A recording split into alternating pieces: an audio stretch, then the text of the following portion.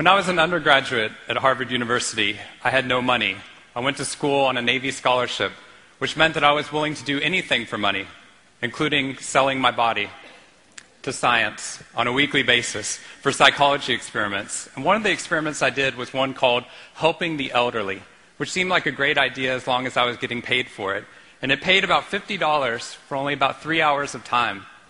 I said that seemed like a little bit on the small side, but since my options were playing video games for no money or getting paid $50, I chose the responsible route. Short addendum to that story is uh, as a college student, I was perpetually out of clean clothes, which means I'd worn almost all of my clothes already right side out and inside out. And the only boxers that were in my boxer drawer uh, were these glow in the dark smiley face boxer shorts, which I would never have worn otherwise. But I put them on without thinking about it, ran off to the experiment at Mass General Hospital, where I was met by two cute research assistants who handed me reflectors for each of my joints, tight white biker shorts, and they said that they had run out of shirts. Would that be okay if I went topless for the experiment? I said that I hadn't been paid $50, so I, yes, of course. So I went into the changing room, came back out like a topless robot with reflectors on each of my joints. And they told me what I would be doing is walking down an extremely dark hallway while being videotaped by a camera as each of the reflectors on my joints would record uh, what was about to happen. What they wanted to do to help the elderly was find ways in which they can help them to prevent injuries when they fall. Of course, you can't get the elderly to fall repeatedly for studies, so they wanted college students, and for some reason they wanted Harvard students to be able to do this experiment. What I would do is walk down a long hallway where one of four things would happen. Either as I walked down the hallway in the dark, the floor would suddenly drop out from underneath me and I'd fall to the floor. Or suddenly the floor would slide out to the right, I'd hit my head on the left and then hit the floor.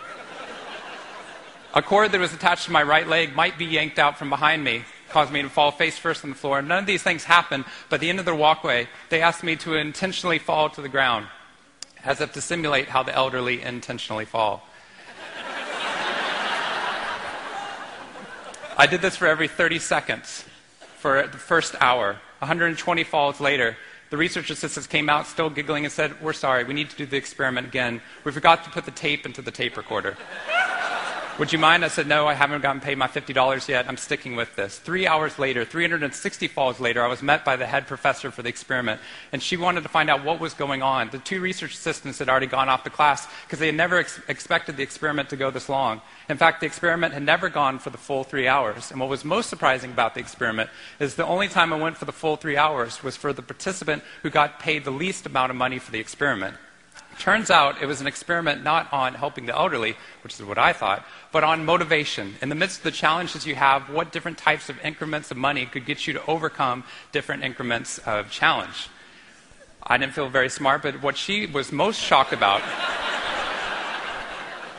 was the fact that clearly none of the data could have been used for anything, because in addition to my normal joints, I also seemed to have these extra smiley face glowing joints throughout the entire thing. I learned several things from this experiment. First of all, I know exactly when and where I should be wearing glow in the dark boxer shorts. But the most important thing I learned was that the difficult part was not the uh, falling down over and over again for the study. The most difficult part was actually getting back up again. It was 360 push ups to get myself back off the ground in order to find myself doing the exact same thing over again. What we've experienced over the past two years in the midst of this economic downturn has simulated exactly what I experienced as a freshman. We found that the floor has dropped out from underneath us as stock prices have dropped. We found that our, our legs have been yanked out behind us in the midst of our assets decreasing or many of our companies not thriving in the way that we wish they were.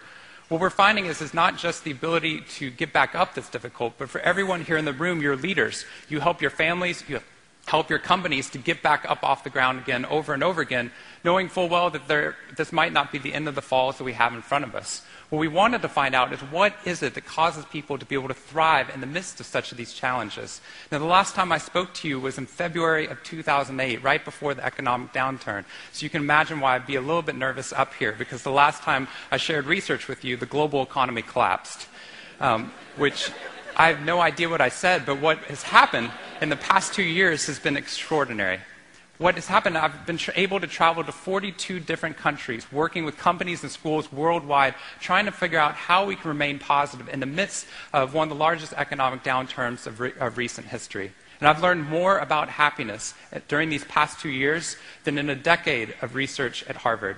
I wish I had more time to share all of this with you, but what I'd like to do is to tell you about what I've been doing with my company. My company is called Good Think Inc. It's a corporate strategy group that brings positive psychology research out to companies to help them to try and thrive in the midst of challenge. The very first foray we had with this was with American Express. This is in the fall of 2008. And when I walked into the room to talk to all the VPs in the room, I suddenly realized something was wrong, terribly wrong. No one was on their Blackberry.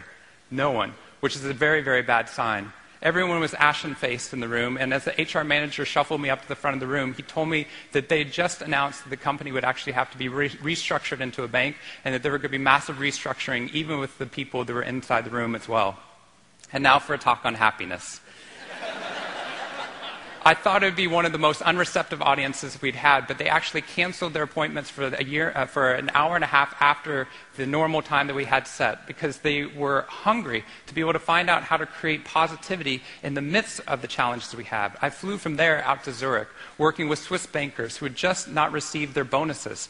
They were shattered, devastated, as the financial expectations were not met for them, and you could see their entire world starting to collapse around them. As I then went from Zurich to Zimbabwe, I suddenly realized as I was flying over the savannas of Zimbabwe that I, what was I doing? I was going into a country to speak about happiness to a group of people that are living under the military dictatorship of Robert Mugabe, who are living in a country where their, where their currency had collapsed. When I first landed, I was met by business leaders from the Young Presidents Organization, and they brought me into dinner, a candlelight dinner, and they said, Shawn, how many trillionaires do you know? And I sheepishly replied, Not very many. And they said, Don't be impressed, but everyone in this room is a trillionaire. In fact, Bob spent a million Zim dollars trying to buy a chocolate bar. This is a country where their entire currency had collapsed. I expected to find the worst, and yet what I found was surprising. What I found in Zimbabwe, what I found in Venezuela under the rule of Hugo Chavez, what I found in Thailand in the midst of the riots, in Japan in the midst of deflation, is some of the most optimistic and positive people who are still creating forward progress in the midst of some of the most extraordinary challenges we had. What was going on?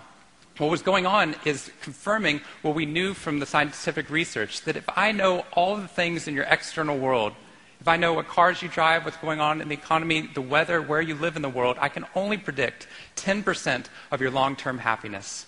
90% of your long term happiness is not about the external world, but about how your brain processes the external world. Which is why at Harvard we can have students that thrive there, that see it as a privilege, and other students that turn it into a place where they see only the competition, the stress, and the challenges. And they turn what could be a heaven into a hell.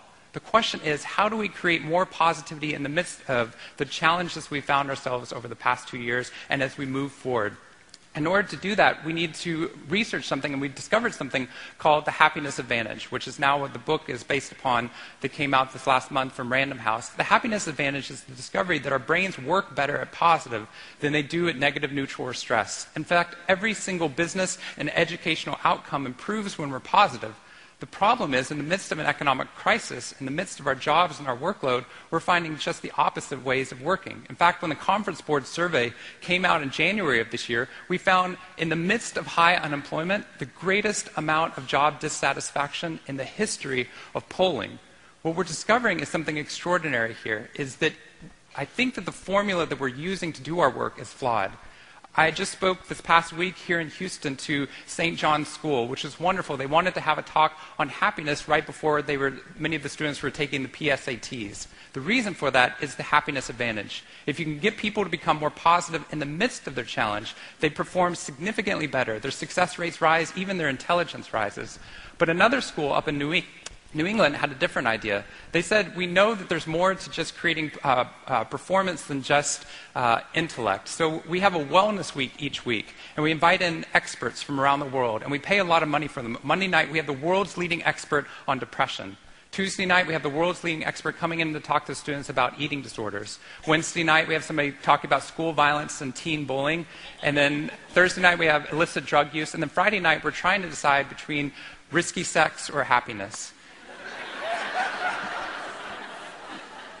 And I said, well, that's most people's Friday nights, but that. they didn't find that funny. They, uh... but I said, that's not a wellness week, that's a sickness week. All you've done is describe all the negative things, and the absence of the negative is not health. The absence of disease is not health. If you really want to talk about the positive side of the curve, we have to be tapping into those levels of optimism, the social support, and managing energy and stress in a positive way to find a way to get back up off the floor and to help other people to be able to do that as well.